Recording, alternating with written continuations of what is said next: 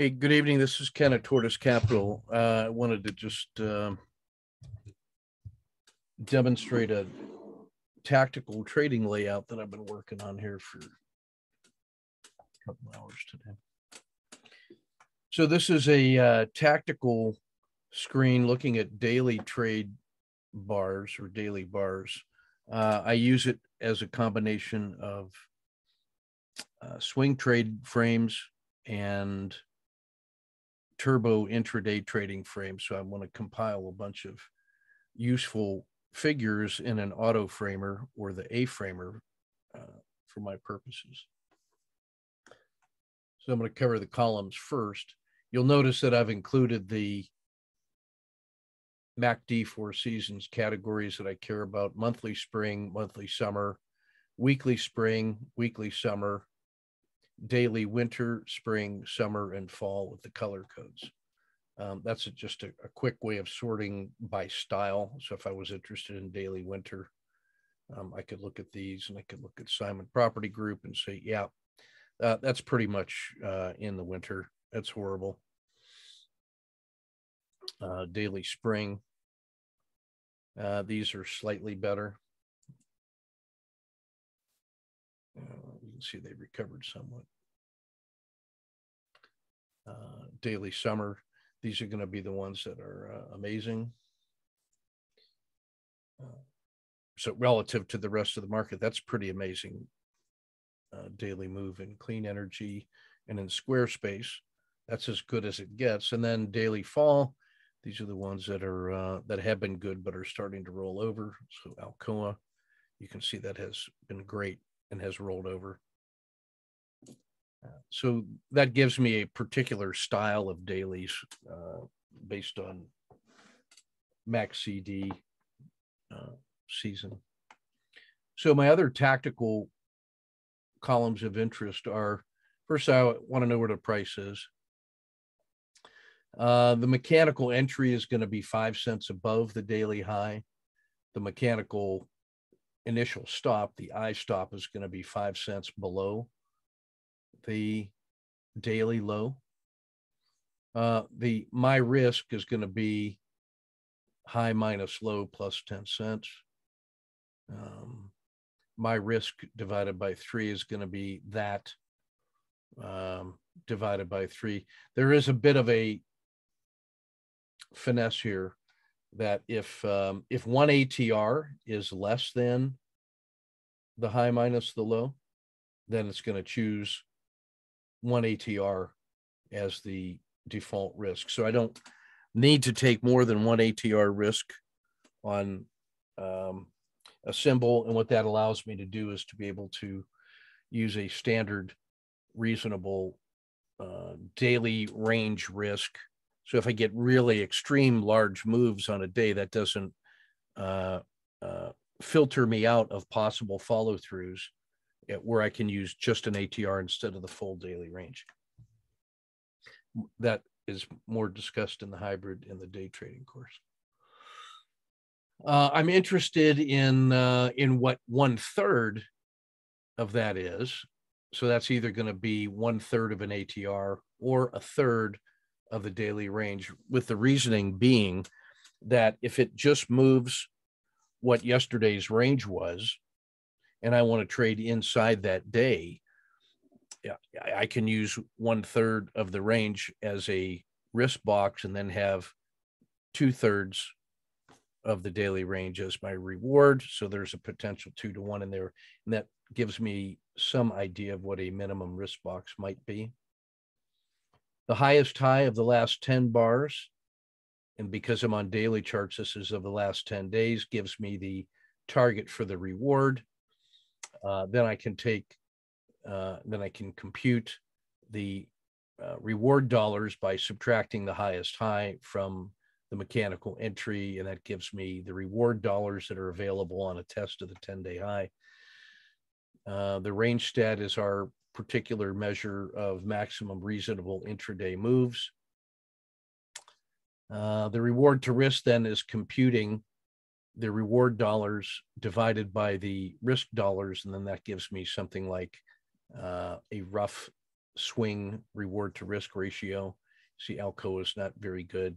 Uh, a lot of them uh, are well underneath uh, what's available because we exceeded the previous 10 day high.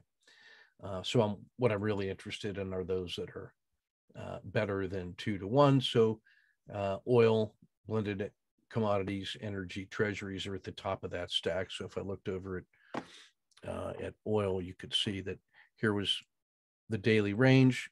Uh, that's the risk box. Uh, the 10 day high is here. So there's an, there's eight of those daily range boxes uh, moving to the top.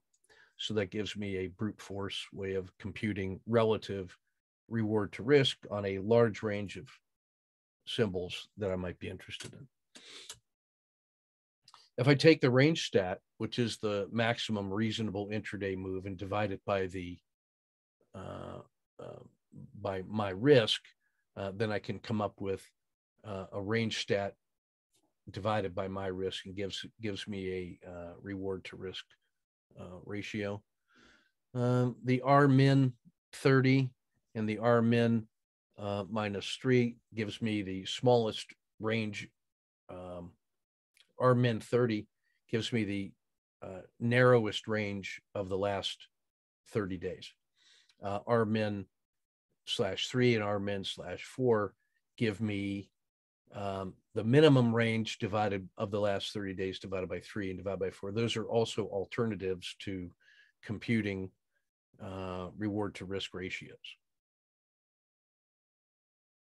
Um, and then the four seasons uh, of MACD. So if I'm interested in just uh, one day pops divided by a standard risk box, I can sort by this column and oil looks pretty good at 2.8 to 1. That's if it were just to break out uh, of the high and then move a range stat after that, then I would be looking at a 2.8 to 1. It also has a really good reward to risk ratio on a retest of the 10 day high using the full range box. So in one uh, one set of two columns, I can be looking at my swing trade uh, risk to reward ratio and my one day pop risk to reward ratios, uh, and then tell by inspection where we are in, in the symbology here. Um, so that gives me some insights into uh, how suitable this is for a hybrid uh, frog. If I wanted to just look at uh, range stat by my risk, I might get some different numbers like XOP turns out to be um, uh, the best one day pop mover given the size of the uh, the tight range compression. So you can see that in the previous 10 days, there have been very large range expansions, but it turns out that Friday was a very narrow range doji. So if that was a one day pause that was not directional and then made a large move in either direction, simply the size of approximately uh, the average range of the last 30 days plus a volatility factor, um, then I would have the best uh, combination of normal volatility and uh, and a compressed setup range, uh, which would give me 3.8 to 1. So uh, the whole energy sector is looking pretty good there. Uh, there's um, oil exploration, Devon Energy looks pretty good. Again, you can see the very tight range compression compared to large typical ranges. That becomes a very nice way to play um, uh, a breakout in either direction from outside of the daily range. I can just use the high or the low of the day as the uh, as the entry, and then use the full range uh, as the uh, as the risk box. So that's a quick look at how I find um, uh, trades of interest to me and how I quickly use uh, TradeStation um, to uh, to give me the com- uh, the computations and the evaluations uh, for my typical set. Now I'm using my what I call my boot camp set, and this is one page of the symbols that I typically uh, am interested in on the day on every day, and these are the ones that we look at in our daily report. The the printed extract report, but you can actually in TC 2000, uh, if I wanted to look at uh, the S&P 500, for example, and just look by uh, reward to risk ratio. Uh, let's see, um, Devon Energy is actually pretty high up in that stack. Uh, DPZ, which I don't know what that, Domino's Pizza, uh, is looking pretty good. On a range stat divided by my risk, I should say. If I was looking for um, the greatest move to the highest 10 day, turns out that Exxon Mobil really is pretty good, but General Dynamics, um, uh, uh, Clorox, uh, Northrop Grumman. Again, you get this kind of range compression plus a large move to the 10 day high. I also like the fact that it is so low when it's stacked that if this fails and breaks through a 10 day low, I have a nice move in either direction. And with the PSARs up top, then uh, my target would be down here around uh, 394. And that's a pretty good move in either direction. So, uh, what I really like about the um, uh, reward to risk ratio is that the ones that are extremely high on the move back to the 10 day high also happened to be invested with a large sell off move already that made that so attractive. So if it breaks out of that relatively small range, a continuation of that trade to the south is uh, pretty nice. So this is a handy way to find easy uh, symbols to trade in either direction um, with uh, almost the hydraulic style of trading that we teach in the hybrid trading course. So thanks for your kind attention. This is one of uh, 25 uh, layouts that we use in the and have available in the TC 2000 uh, bundle that um, does all your all the work for you, gives you information independence from our reports, um, and is a uh, untiring, error-free administrative assistant, which uh, makes it pretty nice. So thanks very much for your kind attention. We'll see you tomorrow.